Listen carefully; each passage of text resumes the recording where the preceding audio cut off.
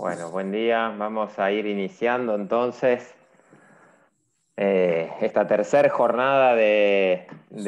estas jornadas que llamamos rescate y rehabilitación de fauna silvestre, eh, pensadas este, hace un tiempo y, gestadas en estos días,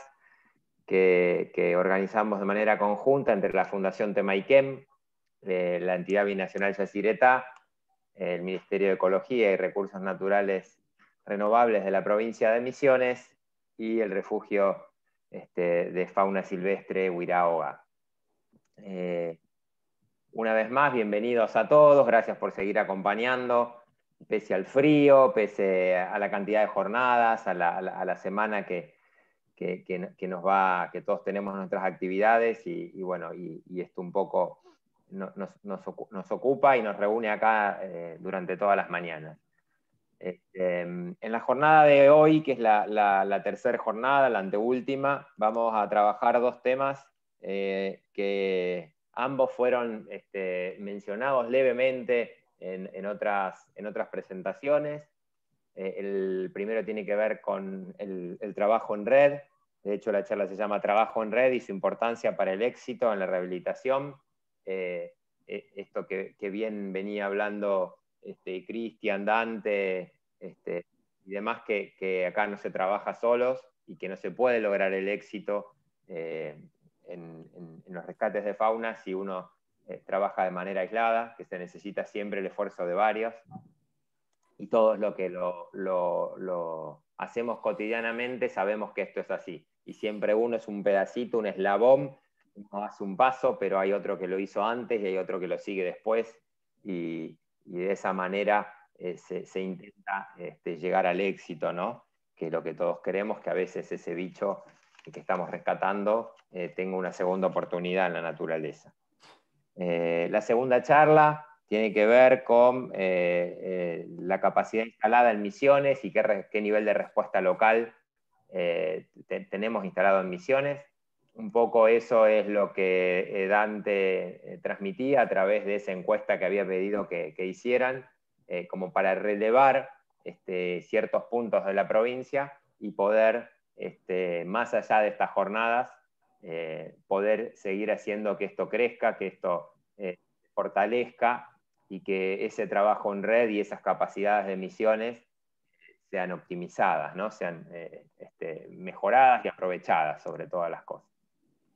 Así que bueno, sin, sin más introducción, eh, le voy a pasar la, palabra al, primero, al primer de los expositores, Cristian Gillet, bienvenido. Te invito a presentar cuando quieras.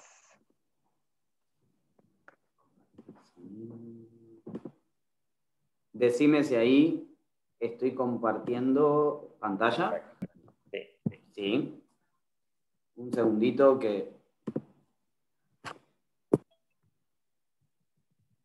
hizo así.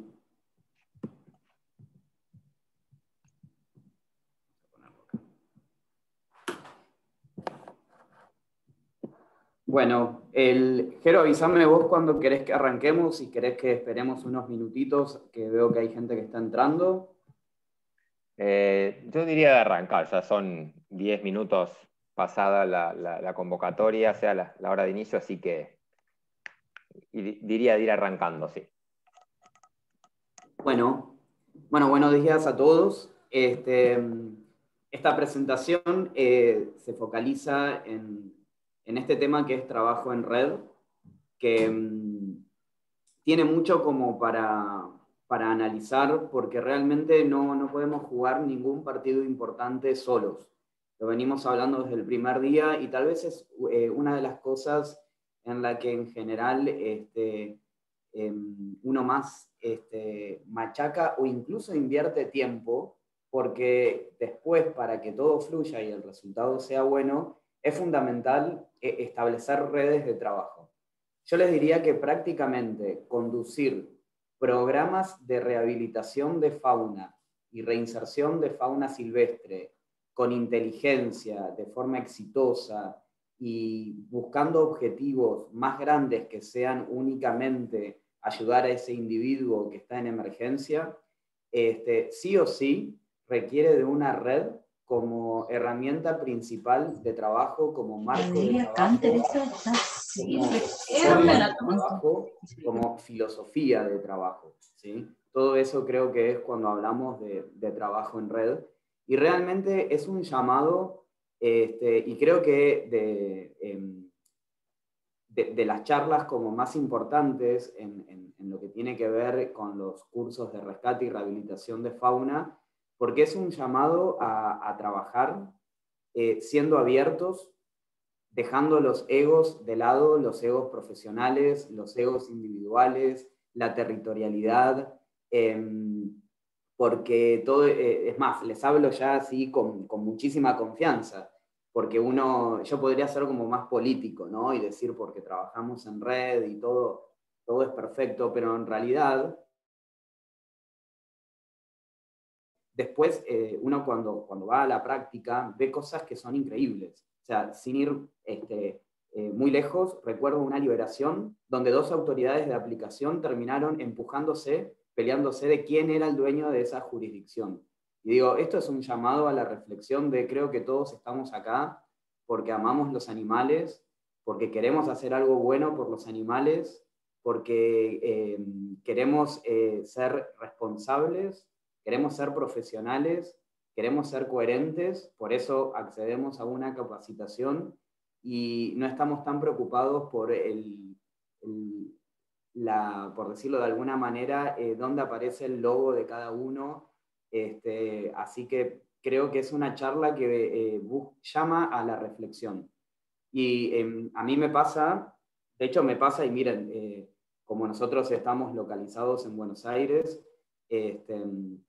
me ha pasado, eh, lo puedo contar porque hoy, trabajamos súper bien este, con, con, cierta jurisdicción y era, no, con un porteño no queremos saber nada, fuera los porteños. Y acá no se trata de porteño, no porteño, se trata de construir puentes, construir fuerzas de trabajo, ser colaborativos y aprender de los otros, de ser sinérgicos. Si vamos a hablar de trabajo en red, la palabra es sinergia, es decir, que las sumatorias de las fuerzas hacen una fuerza mucho más grande, es mucho más abarcativo y no deja absolutamente ningún cabo suelto o este, trata con diferentes eh, miradas y con diferentes capacidades establecer una capacidad de respuesta que sea eh, realmente eficaz y que el objetivo sea más importante que el ego personal o el ego profesional. Este, capaz esto en misiones no ocurre, este, eh, pero les cuento que lamentablemente en, en otras jurisdicciones, esto que les estoy contando a veces parece ser más importante que el bienestar del individuo, el rescate de ese individuo, o que el rescate de ese individuo o, el programa de rescate que se esté desarrollando quede enmarcado en una estrategia de conservación que puede tener mucho más impacto al incluir el trabajo con la comunidad, al, incluir programas educativos, al incluir investigadores, universidades, al incluir este, autoridades de aplicación, al incluir estrategias que puedan ayudar a mitigar las amenazas que esos animales están teniendo. Entonces me parece una charla que, llama a la, a la, a la reflexión. ¿sí? Este, el trabajo en red es fundamental. Nadie puede jugar un partido importante sin trabajar en red y hacerlo este, profesionalmente. De hecho, por ejemplo, Fundación Temaiken tiene un fuerte, Fundación Temaiken tiene un centro de recuperación de 12 hectáreas que están actualmente únicamente destinadas a la rehabilitación, a la recuperación de especies este, parte de esas hectáreas solían ser áreas de soporte del bioparque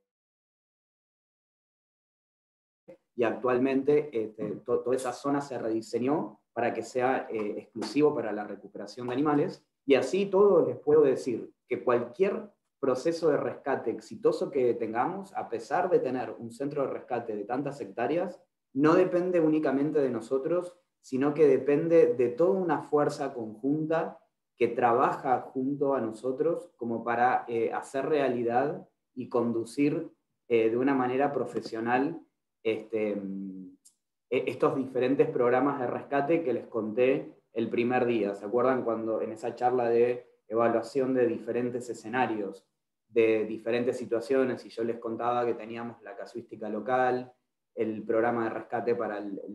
ciervo de los pantanos, el cardenal amarillo, el aguaraguazú, las diferentes, este, el cóndor andino, las diferentes especies con las que trabajamos.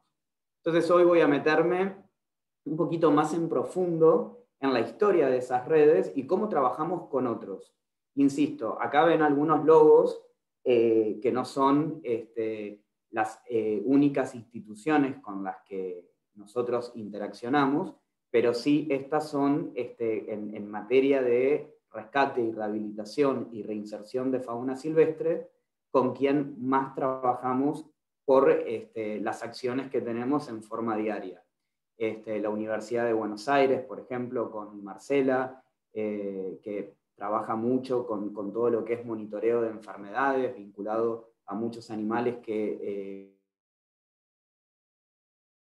con los que nosotros trabajamos en rehabilitación, el proyecto Pantano, el INTA, que ahora les voy a contar una historia con ellos como ejemplo de redes, la Fundación Vivandina por el programa Cóndor, Aves Argentinas por eh, los Cardenales Amarillos, el OPDS, este, el gobierno de la provincia de Buenos Aires y también el Ministerio de Ambiente de Nación son comúnmente este, con quienes más interaccionamos. También hoy, por ejemplo, estamos trabajando de alguna manera colaborativa o, en red con el Ministerio de Ecología de Misiones, con Yacyretá, con Huiraoga, este, en, este taller que estamos dando que tiene que ver con este, dar pasos en la construcción de estas redes de trabajo. Creo que más allá de la información que cada uno se lleve, el objetivo de asistir a estas reuniones es entrar a este mapa, a esta red de centros de rescate que eh, tenemos que caminar en el país. Y antes de meterme en, propiamente en la presentación, yo quería compartirles esta frase que es muy personal, este, no tiene tanto que ver con, con el trabajo en red, pero eh, no me imagino eh, un, taller de rehabilitación sin, citar a, a, Jay, que es un, gran mentor de casi todos los que trabajamos en, rehabilitación de fauna en grandes emergencias en el mundo. Y él, eh, alguna vez en alguna discusión respecto si el rescate era importante, no era importante, si el individuo, si la especie, dijo una frase que le salió muy natural, y dijo las poblaciones están formadas por individuos y si comenzamos a mirar a los individuos como si no fueran importantes, entonces finalmente la población deja de ser importante.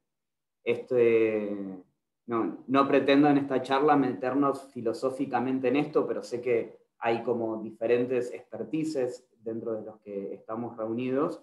y, y puede existir como esa duda de este, si rescate sí, si rescate no, y obviamente todos los que estamos acá creemos en esto este, y entendemos que a veces trabajamos a nivel del individuo y a veces trabajamos este, a nivel de las poblaciones o en programas de conservación mucho más complejos. Obviamente que siempre intentamos mover este, los programas de rescate hacia, que, eh, hacia hacer una estrategia de conservación, una acción de conservación o parte de este, un proyecto mucho más grande que involucre, como decía, trabajar en investigación, en educación, con las comunidades, con áreas naturales protegidas, porque es la conjunción de todo eso junto que realmente hace interesante este trabajo, la preparación para responder a emergencias, que el rescate sirva para preparar profesionales, que el rescate sirva para establecer la red de rescates, de centros de rescate, la capacidad local que nuestro país puede tener para hacer frente a crisis ambientales o animales afectados por la causa antrópica y cómo somos capaces de trabajar colaborativamente, abiertos, en red, compartiendo información para que también este, cada uno de estos animales puedan generar conocimiento científico, eh, vigilancia de enfermedades, conocimientos que son importantes para la conservación, más allá de ayudar a ese individuo.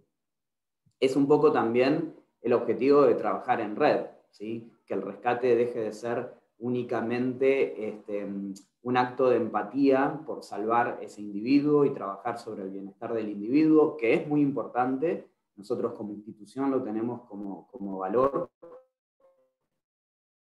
más si es un individuo afectado por una actividad humana, pero cuanto más trabajemos en red, cuanta más eh, fuerza y expertise esta red pueda tener, este, seguramente nuestras respuestas van a ser mucho más sólidas e importantes. De hecho, les cuento algo, este, bueno, Dante, eh, Bernardo, que creo que están eh, entre el grupo, son parte de una red que ahora voy a hablar. Ayer, por ejemplo, tuvimos que rescatar un ciervo de los pantanos que terminó muriendo, estaba muy grave, pero lo, bueno y hoy hacíamos este, como algunas reflexiones sobre cómo respondimos a ese llamado y, y una cosa que salía era que cada vez que vamos a un rescate y lo hacemos trabajando en red, aprendemos del otro. A mí personalmente ayer, eh, antes de ayer, perdón, este, aprendí de los guardaparques, porque Parques Nacionales está involucrado en esta red de rescate, aprendí de em, los investigadores del Proyecto Pantano, aprendí de Marcela, este, que, de la interacción y del trabajar juntos, este, el trabajo se vuelve muy em, enriquecedor y, además que ayuda a, fortalecer y formarse.